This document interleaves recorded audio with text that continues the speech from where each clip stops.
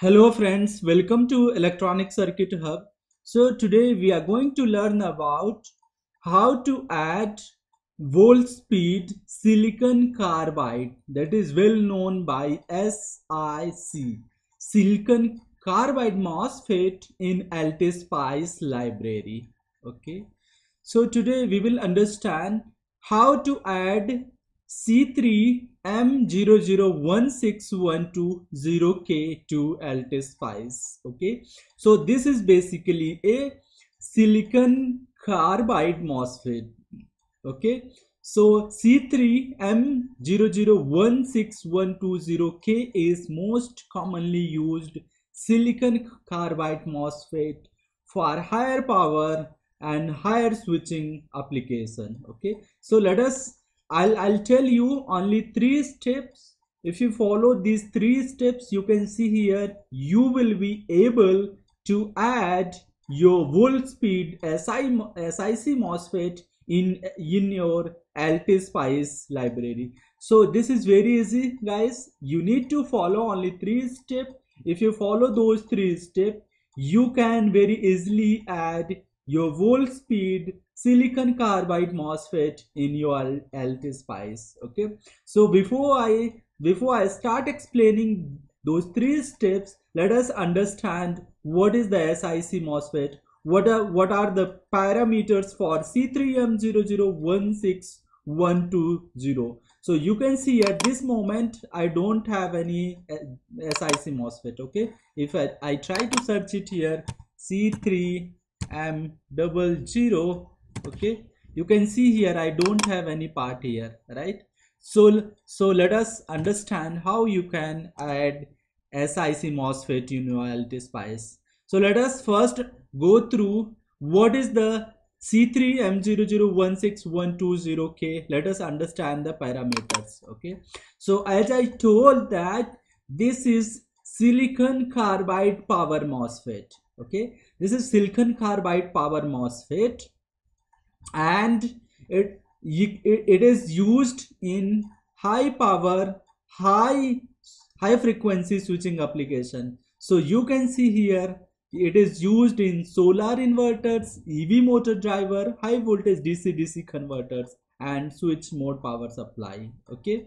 So let us let us understand about C3M001612K so if you if you look at the basic three parameters so gay you can see here vds drain to source voltage is 1200 volt id 25 degrees 115 amps and rds on is 16 milliohm so you can see here guys the rds on for this device is very low because it is made with the sic technology okay so this is basically a C3M MOSFET and N-channel enhancement type MOSFET. You can see here, this is N-channel enhancement type of MOSFET and this is third generation SiC MOSFET, okay? And one more important thing you can see here guys, you can see the 8 mm right? 8 mm creepage distance between drain and source which is very important. You not need to put any slot in your pcb because this distance 8 mm is very enough okay? And it has high blocking voltage with low on resistance high speed switching with low capacitance fast intrinsic diode with low reverse recovery tr and you can see here this is four pin device okay? It's not three pin it's a four pin. Drain and two source pin and one gate pin. And if you look at this symbol okay you can see here this is gate pin number four is gate.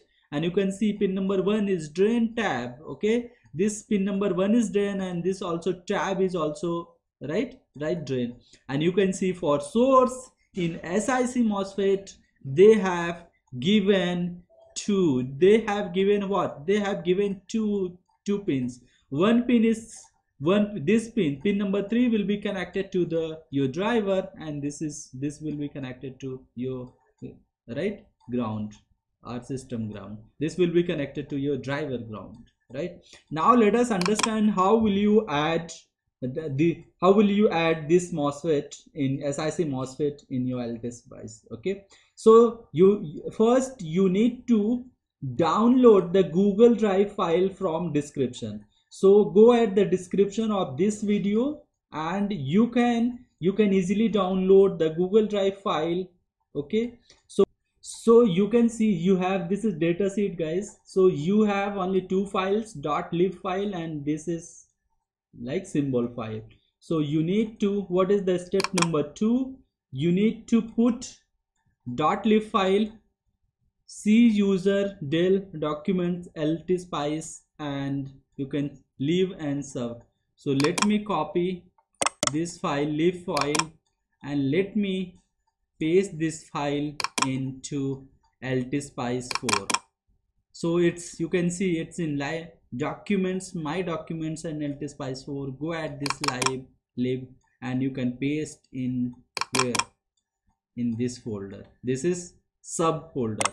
So lib file you can dot lib file you can paste in the subfolder right? And go it back and let me copy this symbol file. And and this file you can paste in subfolder. Okay not sub in sim folder symbol folder sorry. So i paste in the symbol folder so you need to refresh or restart your lt spice okay? This this folder. And now you can go in the component and you can see here guys. This is nmos to 247 4l so you can see here guys this is your what? Now you can see this is your sic mosfet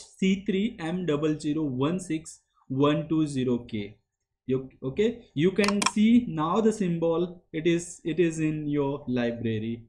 So hope guys you have understood how will you add the SiC MOSFET in your LTSpice file, LTSpice library. Okay, so you need to follow these three steps.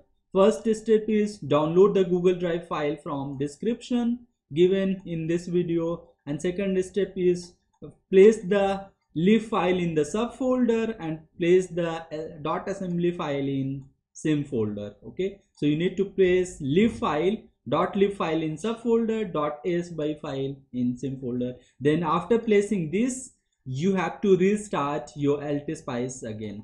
So thanks for watching this video. If you have any further question feel free to ask me in comment section. Thank you